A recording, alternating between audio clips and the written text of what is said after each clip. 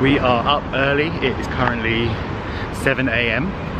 And this is a, a kind of little mini vlog in between because we're gonna do Salem as a separate vlog.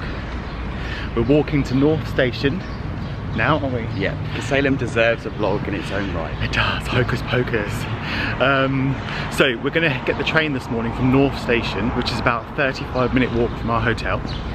It's about a 30 minute train journey to Salem.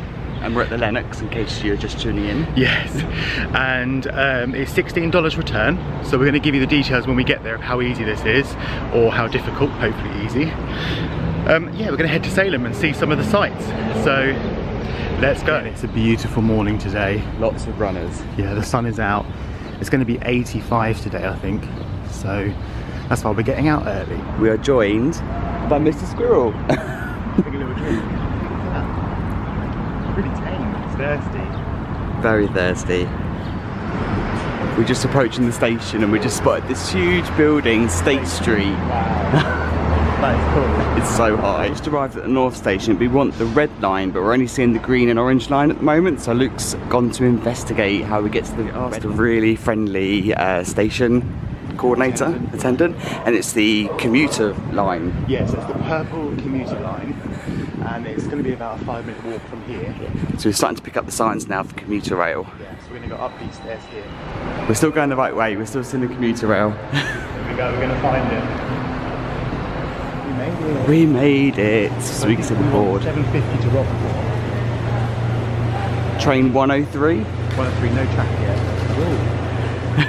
Birds are going crazy. Just bought our tickets. It was $32 round trip. Yeah, there's a really helpful little stand, customer assistance, where you can just get your tickets. Um, and the next train is uh, at uh, 7.50. Yep. so in about nine minutes. Uh, we did ask about masks on the train, and they said no, no masks required. We got them just in case. But yeah, we've got them in the bag. Yeah, This is exciting. Never, we have, I don't think we've been on a train in America. No. it's a new one. The temptation is real right now. We've got Dunkin' just there. So we're going to get one when we get there. Yeah, and Snapple. So we've got the uh, app, the MBTA website, so you can view the arrivals. So we're on the 750 that gets to Salem at 8.16. Oh no. Hopefully not long. no. Here we go. We're about five ten minutes delayed, but we've got a track. Track number one.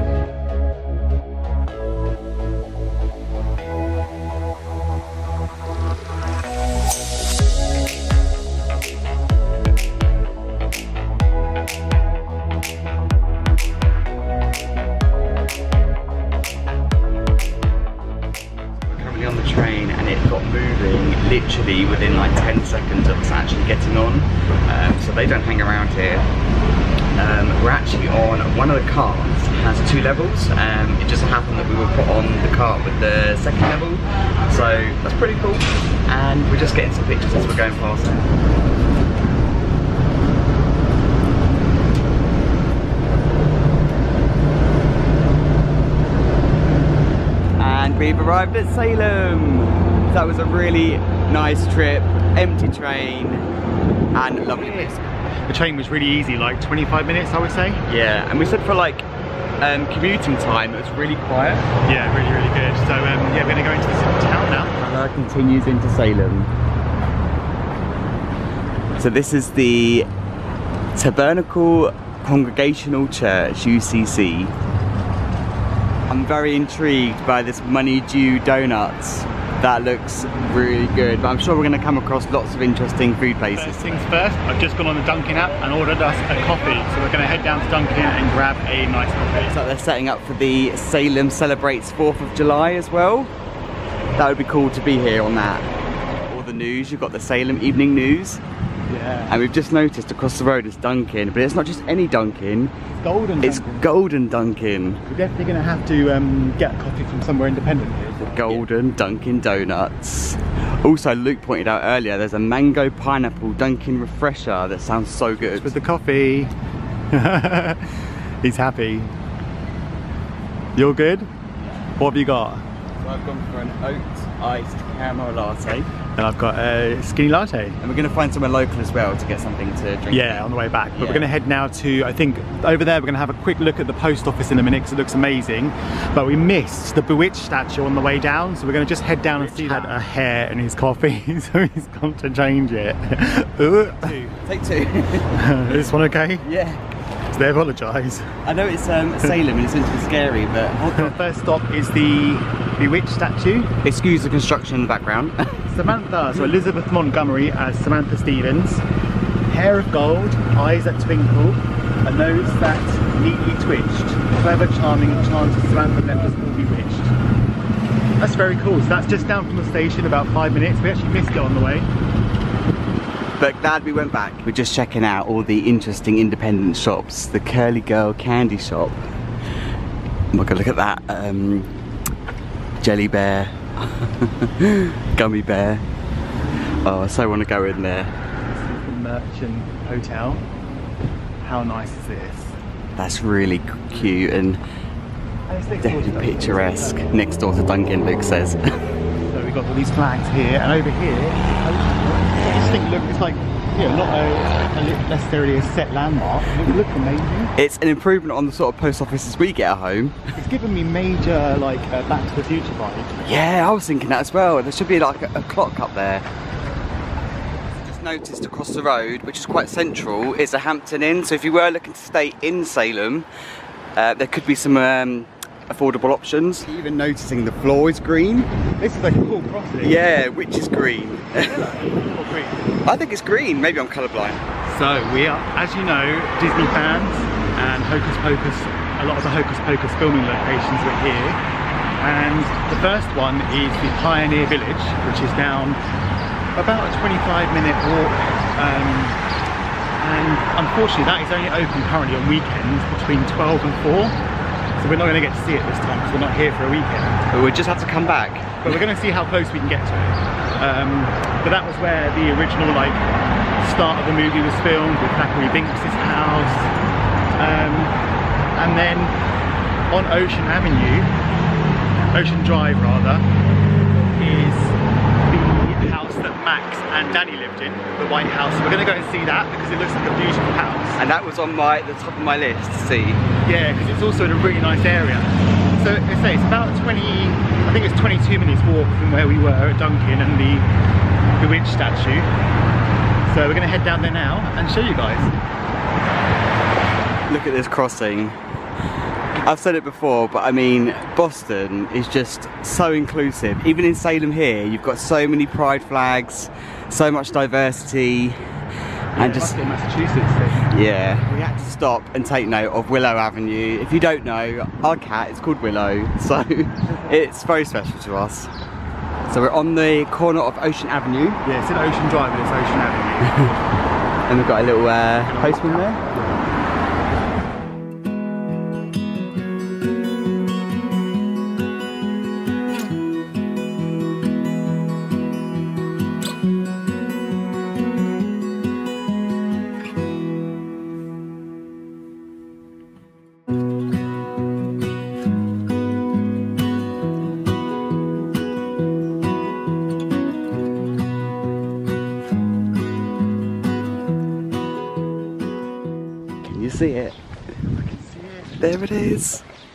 We'll be up close to it in a minute.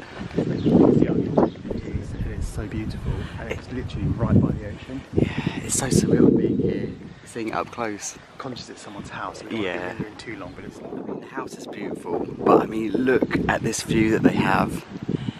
It's just to live here and have this view. It's just incredible. You'd be loving life, wouldn't you?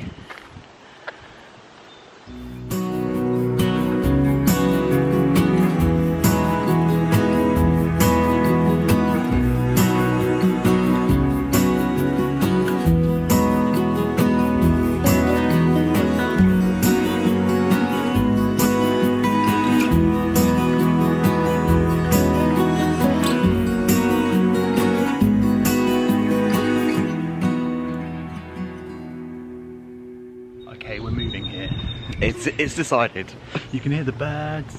So peaceful. We're going to take a short um, five minute walk to Pioneer Village. I know it's closed, we might be able to see a little bits. We've seen other people walking down. Um, so So we're look. thinking maybe they know something we don't. We've got to turn around and show you our view right now. Yeah, look at this.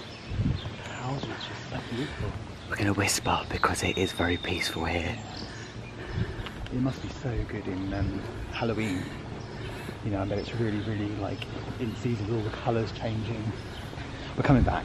So here on the left we've got the Salem Pioneer Village. and I think in those trees in there are the old houses um, that were used for the filming location at the start of the movie. But um, there's, I mean, there's cars and activity and there's people walking down, so we're going to see just in case. So we're just heading down to Pickering Point, Lovely little base, uh, baseball ground. baseball ground, and just beyond that is what's just beyond that, Luke? the Pioneer Village. So there's Pickering Point, which is over to the right, and then the Pioneer Village is in there. And you can you can actually see the huts in there. So we're hoping we are seeing people walk over there. So we're hoping we can get semi close to it. Yeah, we just seen people walking in. So whether it's like the uh, museum's not open, but you can still walk through. Kind of see there's currently a kids camp here behind, so that's why we're obviously not allowed in during the weekdays. But you can see the Pioneer Village, Salem 1660 there. You can see the hut, and you can also see the other hut, and obviously uh, Zachary Binx' house. You can hear the camp. That's so American. So just want to let you know that just by the side of the baseball court there is a free car park. So if you do come down with your car, there is definitely a place to park, um, and there looks to be loads. so of space. close, but we don't want to go in there. It's a kids' camp. It's clearly closed, so we've got close enough. There was a lot of other people around, like just getting as close as we were. Um, We were chatting to a nice American couple. They had I'm the same sa- problem. Yeah, I'm satisfied that we've got close enough. yeah. And we're just going to have a quick look at Pickering Point, which looks out over the sea. YouTube. Um, parking is free here, which is a really good thing if you've got your car. So um, let's head over and get some footage. If you're wondering why we randomly said YouTube, there was somebody going past on a bike that was going YouTube, Look through YouTube. Here, look through this gap. Do we have a gap? Look at that through the gap. We're doing our best. Let's let's zoom in. Right there. So close, yet so far. This is Pickering Point. The view is stunning. It's so nice around here. Apart from the uh, lawnmower going, Oh yeah. it's lovely. Just checking out the um, shop frontages and how in keeping they are. So we've got um, an optician's hardware store, a retail store. We're on Pizza Watch now, the Engine House, pizza and subs. If we were staying longer, I think we could head there. So we're kind of in the downtown district now, aren't we? And there's plenty of like meter parking, local shops and restaurants. There's also Wendy's for the more commercial. We're on the downtown district at the moment. So we've got the waterfront, the Salem Maritime, the House of Seven Gables, which is what we're heading towards now, We're going to go to the Witch Trials Memorial first. and the Witch Trials Memorial. We have just spotted the Salem Witch Village, which is just across the way from the Salem Wax Museum. Established 1692. Stopping at the Charter Street Cemetery. It's very peaceful here. There is a lovely breeze. And this is where the Salem Witch Trials Memorial is. This whole area is the Salem Witch Trials Memorial. I'm just loving all the different types of buildings. Charter Street Cemetery Welcome Centre. Probably opens at 10. Let's have a look. So you can see here Mar- Margaret Scott hanged September 17th or 12th, 22. Oh, September 22, 1692. Here's the memorial. It's very hard to read because it's got um, It's quite faded. I am wholly innocent of such wickedness, it says. And then we just walked round this square. Which is the memorial. Bubble tea. So if you're like me and obsessed with bubble tea, they also have uh, sweet boba down here. And just along the downtown district, we've got the Pirate Museum. So loving these uh, drawings, paintings on the wall. And here's the entrance here. Getting Captain Jack Sparrow vibes. We've just seen this boat over here. We, we didn't plan this route, but That's what I like, that we're just walking along and finding random things. it's too good to just look at. Yeah. And the ambience of the uh, church bells, I have to say, very spooky. The weather today is. I actually just found restaurants. Perfect. We've got a nice little sea level oyster bar here, which is just overlooking like a marina type area with some really nice boats. And Luke's just heading over to look at that ship, which looks really good. See the lady at the front Looks there. like Belle from uh, Beauty and the Beast. It does actually, doesn't it? yeah, Belle vibes. Oh, it's so nice. I could just sit here now. There's a nice breeze. Yeah. You can see the custom house over there with the gold. So we're just taking a minute to have um, some rest and step count is 13,500 steps so far, which is not bad and it's only 10 o'clock in the morning. Amazing. Um, so we were just saying that we're definitely going to come back, but we're probably going to need at least two days here because there's just so much to see. There's so many little quaint shops and um, restaurants and bars and food places and so many sites that we just haven't got to. Um, some of them because they're not open um, to the public today, so even more reasons to come back. But it is just amazing and the weather is incredible. So we're definitely going to come back um, and do a couple of nights. And as you've seen today, we we can bring the car because there's plenty of uh, public parking and um, meter parking as well. We just stopped at the uh, custom house and Luke spotted the gold. Yeah, it says 1819 Gold Eagle at the top. So we're guessing that this is where the ships came in and sorted their customs paperwork out. Just maybe? heading now down to the House of Seven Gables, which is a 1668 colonial mansion named for its gables. Let's have a look. We're just catching the Salem trolley going past as well. If you're not brave enough like us to walk it everywhere, look at this witch coming up. Oh. oh my gosh. Hey witch! That's the ugly witch. She doesn't look very happy. Witch Way Gifts. So we've got all the witch merch here. All the dream catchers. There it goes. Oh, trust me to spot the candy shops. We've got the America's oldest candy company, home of the famous Gibraltars and Blackjacks. Right, so we're going to head in, and uh, I think it's a paid event, but we'll see how much it is. Heading into the House of the Seven Gables. Um, we're going to go for the grounds pass of $10 and masks are required. So we've gone for the uh, grounds pass which is $10 each. Um, you can do a audio tour um, which will get into more areas for a little bit extra. But there's also QR codes that you can scan um, as you go around for some audio that, which is included in our pass. So the staff are really friendly and really informative when we checked in. So nice. You can, wear, you can take your mask off outside, just inside you have to wear it. Yep. Um, we've got a little map, Mhm. but this garden has just come out and it's, it's stunning. and the view behind as well, seeing out to the to the water. Absolutely incredible. So as soon as you come through like the front reception, uh, for where you pay to get in, you've got the sign for Hawthorne's birthplace, uh, the Counting House, Kids Cove, and the museum. Also got the site of the original tea room, and we love our tea rooms. Um, that's probably the British side of us coming out, but um, gotta love a tea room, 1910. And just to the side of that is the Turner Ingersoll Mansion, 1668. I've got to film this because just walking along these beautiful gardens and there's a stunning view with the statue. A duck landing on a duck. That is stunning. Uh, we've definitely got the weather today. I know we keep talking about it, but we're just really appreciating the weather today. You get really good views of the buildings from here. So I Let's think turn around. is the House of the Seven Gables.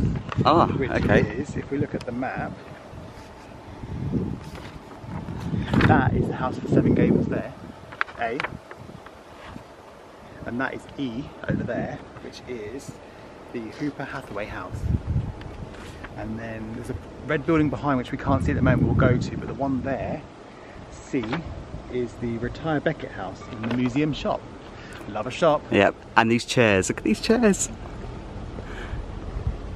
I was talking about those chairs, but we are just taking a minute just to sit and just take it all in. Yeah, we didn't pay to go in the house. It was twenty dollars each, which I don't know. I don't, I don't have that much interest to go in there. I just wanted to really see it and see the garden. So ten dollars each was not too bad. So One for next time, maybe. let's go and have a little wander. stepping stones here. So I'm just assuming that we can step on them, but, but they do end. Take a little walk down Oh, I'm al- al- also thinking about the scene from Princess Diaries where they say, "Get off the grass." It's a great shot looking back here. You really get a good view of it. So we've got the Nathaniel Hawthorne birthplace there, which is the red building Luke was talking about earlier. So we've got a lovely seating area down here by the water, which is, as you can see, completely empty. So we've definitely come at the right time. And it It's just just goes all around. it? It's So- literally just opened. Imagine having your lunch there. Ah, brilliant. And also the blue boat down there. Let's have a look at the boat. sailing away. Sailing, sailing away. Disney Cruise Line. I also love that my phone just popped up to advertise the Hocus Pocus 2 trailer. If you've not seen it, check it out. I'm so excited for this movie. Oh, little cats. Got to stop and buy. Are they lambs or Lambs. cat? Are they lambs? Okay. and this is just by the, the Retire Beckett House. And you know, with every tour, it ends with the store. We've got to check out the museums. The store is actually in the Retire Beckett House, um, and we're going to go in, and we've got our masks on. So we've got some Salem merchandise here. We've got some. I'm whispering because it is really quiet here. um, some jumpers, some witcher stuff, lots of books, and we like to get like a magnet or a keyring or something. Oh, and the I number. like this is cool. We've got a few number plates. We get did. this one. We did start to collect them at some Yeah, point, didn't we? This. We're gonna get that. Um, we love a gift shop. I think we'll find a Salem pin down in Salem. That's it. That's what we normally get a pin. We'll get. And we've got all the china and the crockery, mugs. You know we love a mug. Some notebooks, some journals, some tea towels, hocus pocus. These are called these um, cobblestones. Some candy cranberries, uh, peach uh, beach pebbles, and we've got um, a Salem artist here, Sheila Billings. These little miniature paintings. Really cute. Now we're heading over to like, the main district again, which is about a 10 minute walk to the Salem Witch Museum area. Um, building, wow. we just Morning glory. Bed and breakfast. morning glory bed and breakfast. It's amazing. Yeah. So we've got the Salem sign here with a nice map of the area, and behind, which we spotted on the way down, is a statue. So we're gonna check out what statue this actually is. So there's a statue. We're not really sure of the history behind this, but it was erected by the followers of very, Rev- uh, very Reverend Theobald Mathew, Apostle of Temperance. Just by the statue is this stunning church. Really is. If only all churches could look that amazing. We've got the Salem Witch Museum just over there. And we've got the Salem Common Fence. Nice little um, bandstand area there on the column, common. We're now going to walk over towards the Witch Museum. They are doing some sort of cleaning. It's like the Ghostbusters. yeah. They're sucking the ghosts into the ground, but they're doing some sort of water main cleaning. It might be a bit noisy. Yeah. Let's go. So a bit closer you can see the Salem Witch Museum and we're just going to cut out that so we can just see the museum. Right here we've got the first settler of Salem in 1626, Roger Conant. Loving this house. Very patriotic. Also quite central is a multi-storey car park. Yeah, that one's full already. Yeah, so popular, but more parking options if in case you're driving down. So we've got a nice water feature here. And the Witch City Mall, I don't think it opens yet. We can go and have a look. So yeah, this is the uh, Witch City Mall, which is just across the way from the East India Marine Hall. And it is 10.53 and it is open by the looks of it. We're just heading through the mall and although the doors are open, not a lot of the shops are. So we're thinking it's coming up to 11 o'clock. Some of the shops say 11. Yeah, so if you're coming down in the morning, just be prepared that some of the shops may not be open. We're just going to nip into the trolley depot store. Oh, with little cats. And you can't escape the Disney. Disney is everywhere. We're just checking out these postcards for 50 cents. Halloweeny ones, yeah. Souvenirs. I absolutely love this. Happy Halloween. We both spotted that and thought, yes, that's coming home. We've got a couple of other things we'll show you later. So we went into Honeydew Donuts and got a honey dip ring donut. Strawberry iced tea here, which is amazing. Did You get, Honeydew Donuts. and you've got a honey. honey dipped ring donut. Nice. And also, I noticed they do strawberry iced tea here. It was only a dollar. It was only a dollar fifty-five for that donut, which is pretty cheap. That is good. Yeah. So really good morning in Salem, didn't we? Really good. Yeah, I wish we could spend longer here. Yeah, we said we definitely would stay here. Um, there's still, still a lot to see. The Witch Museum we'd like to do another time. Um, so yeah, 100% recommend the trip. 17,000 steps so far.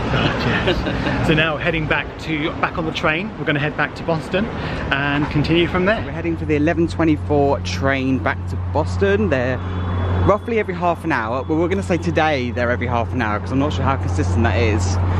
Um, but yeah, really convenient to get to like the central district. Saying goodbye Salem, but we will be back. We both said we are definitely coming back here.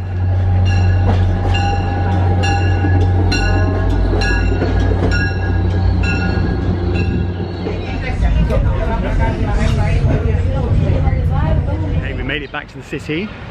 First thing Rich needed, Coolatta. strawberry, Strawberry. ice. Yeah, mobile ordering is a blessing. Yeah, it went straight on the screen. I've gone for the vanilla skinny latte, Unsweetened. unsweetened, really nice. Um, so we're heading back now to our hotel for some aircon and a chill. Via Chipotle. Chipotle for lunch for me, and you're gonna have I'm gonna go to the Star Market because I think they do really good sushi there. Well, it looks good anyway. so it's sushi time. So catch you later.